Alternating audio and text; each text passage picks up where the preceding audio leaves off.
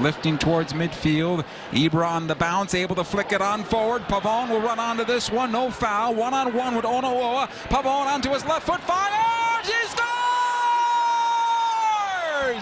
And the Galaxy take the 1 0 lead. Cristian Pavon, his second goal in a Galaxy uniform. Zlatan Ibrahimovic with the assist.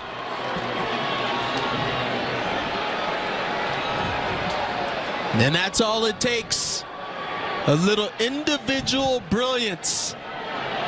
Cristian Pavon does some amazing work off of this one. Give Ibrahimovic the credit to win that header and a strong header to put the ball into space for Pavon. Pavone lines up Onuoha and Ramondo.